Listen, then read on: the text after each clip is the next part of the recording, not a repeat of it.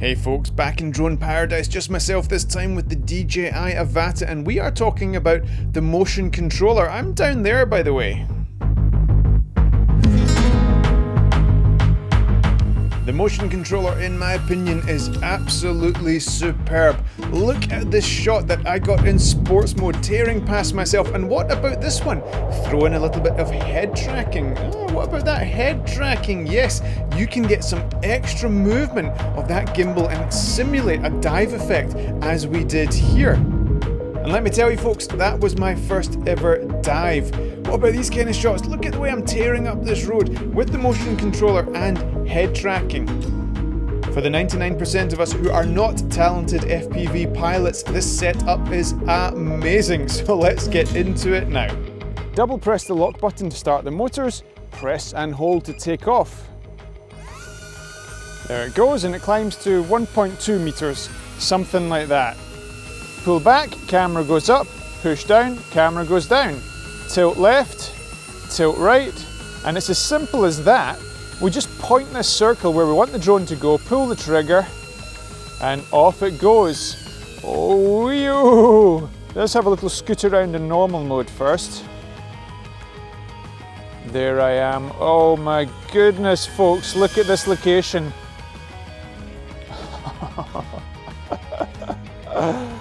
Oh, right, concentrate, Stewart. You've got to focus on things. You've got to focus on that transmission signal, make sure it's nice and strong. Got to focus, make sure you don't fly too low to things. Now, this is what I love about the motion controller, is the smoothness of not just getting into maneuvers, but getting out of maneuvers. So here I am doing a turn, just pull back a little bit, make sure I don't go too low. I can ease out into a central point. It's very hard to return the stick to center as a drone pilot. I find that anyway, whether you're pinching or, or using your thumbs, this crossing the center is tricky. So I'm just gonna do a bit of practice here. There we go.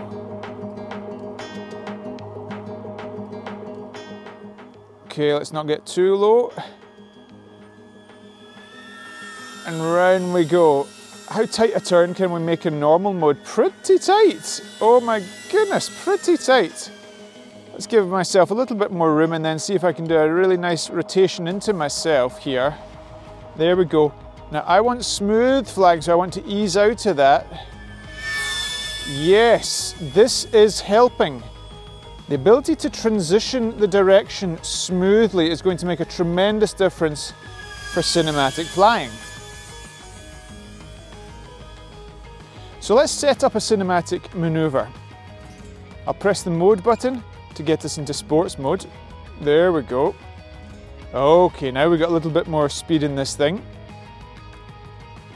For me, the beauty of FPV is an extra layer of motion, you could say, that we can add to our cinematic attempts at aerial filmmaking. So a big part of that is revealing your subject. And in this instance, we're going to fly down quite low, but not too low. And imagine this was a model or a car or something, and you do this nice big sweeping maneuver past them. Whee! There we go. Up a little bit. Wow. Oh, up a little bit. Up, up, up. Just pull back on that joystick. Here's another reveal. I want to ease out of this quite gently. Up a little bit and round we go. I've got an ND16 on this today. We're shooting at 50 frames per second with 1 100th of a second shutter speed, which is kind of fast for real-time footage. But if we get close to things, you do enjoy the benefit of that motion blur in a situation like this, especially when you're flying closer to the ground like I am now. There we go, rotate round, up a little bit. Wow, this is fun. You see, what this gives us that the normal controller doesn't give us is a coordination of the stick inputs and the gimbal maneuver. So in this instance, if I pull back on the stick like this, I get the notion that the drone is climbing. Now the nose isn't actually pointed up in the air, the gimbal's pointed up in the air. But wow, here we go. This is the closest thing you're going to get to a dive in sports mode.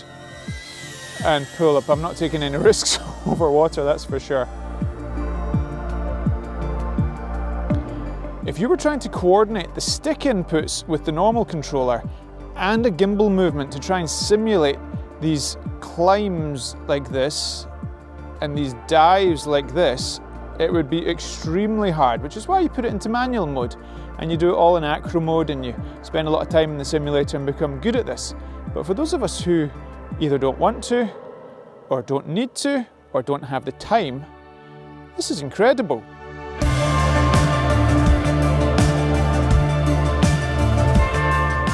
I've got EIS switched on, but I'm not seeing it in the goggles right now, and I'm flying smooth.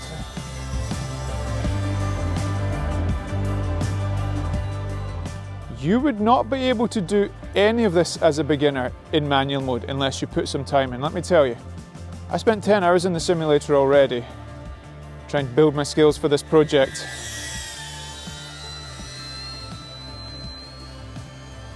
And it all went out the window. the second I put the drone into manual mode. Wow, this is good. I need to be a little bit careful not to crash this drone again. I can't afford to lose this one. If you saw our original review, you'll see that we had a bit of a shaky start with this drone. So I'm taking it easy, but at this speed, you get a really great sense of motion if you fly close enough to things. It's exciting. Wow. I'm not going to get too cocky here. Learned my lessons. Now let's do a big turn. And I'm able to ease out of it smoothly. This is what gets me. With regular Mavic flying, it's very easy to get into a maneuver. So let's say a rotation with a gimbal tilt or something like that. It's much harder to ease out of it. Your fingers are locked in position. There's a risk that you just let go of the sticks essentially. Easing out of maneuvers here is extremely, extremely easy. And smooth flight equals cinematic flight. Right, the battery's going to want to do a return to home soon. So we fly up and in. Let's see if we can tilt in. Okay, that didn't quite go to plan. But this dive is kind of cool. Keeping an eye on that ground indicator and we'll do one big flight down this road just to finish up. I keep thinking someone's going to come down this road and drive into the back of me, but it's not. it's a derelict waste road that was once a thing. This is an amazing location. Oop, don't get too confident, Stewart. Been down that road before.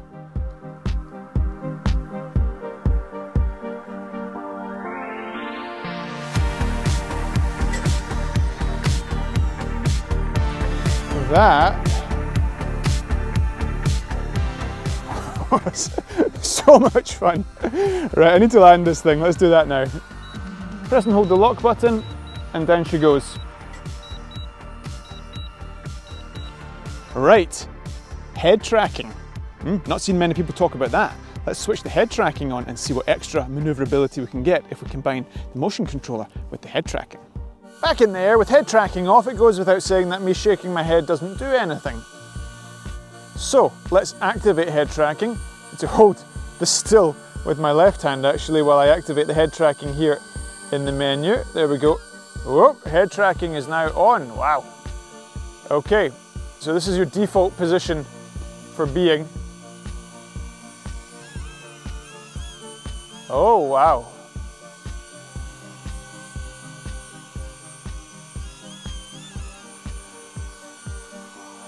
Very interesting. Let's see how we get on. We're in normal mode. Good, let's keep it that way for now. Let's go this way. Hey, I'm flying sideways.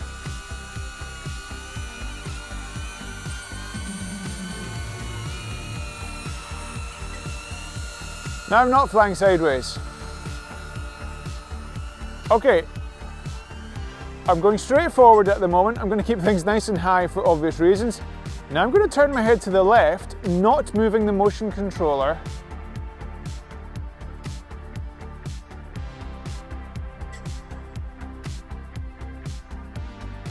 Oh, this is cool. I can see how this works.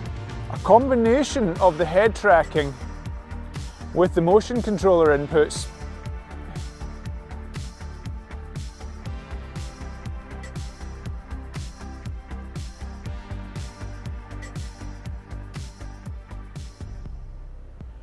and you can get a little bit more sideways flight. I have to say, this is going to take me a bit of getting used to.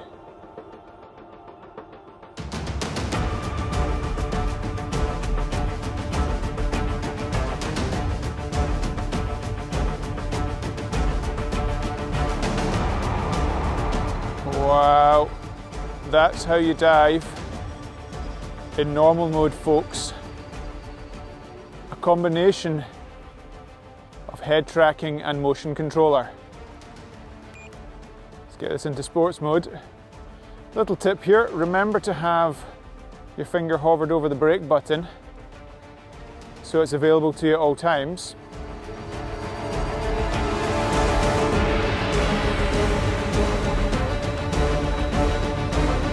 Okay.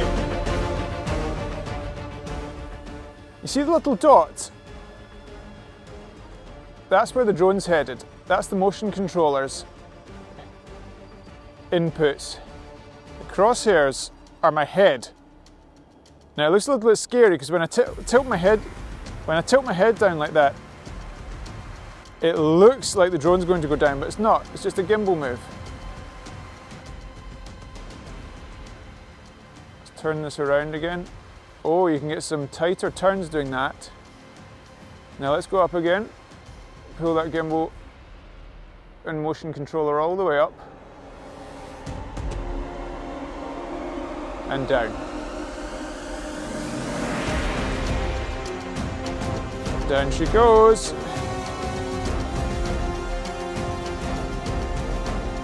Can we do a bit of a reveal of myself there? Be careful, up we come, up we come, up we come. That was quality. Oh, I just got a bit dizzy there. That was quality. Right, because I'm not so used to this, I'm keeping a close eye on what the motion controller is doing. That's more important to me, so I don't crash. Let's try and do a really tight turn, head and motion controller. Whoa, wow. Okay, I'm just gonna take a little second there. That disorientated me. So I'm just gonna gather my thoughts. I'm gonna take a second. Let's switch this head tracking off. I'll hold the controller here so it doesn't waggle about too much. Swipe down. Head tracking off. Okay, we're back on track there. That has so much potential. I'm going to land this just now while there's some power, take a little break. I'm not the most seasoned FPV pilot in the world, as you probably know by now.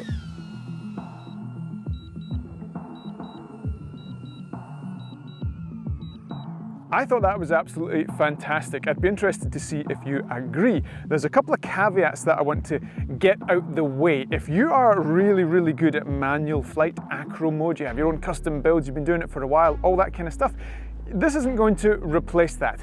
However, for the other 99.9% of us who have an interest in this hobby, we maybe have camera drones but aren't really going to bother with FPV. This gets us to a place that we quite frankly would never get to otherwise.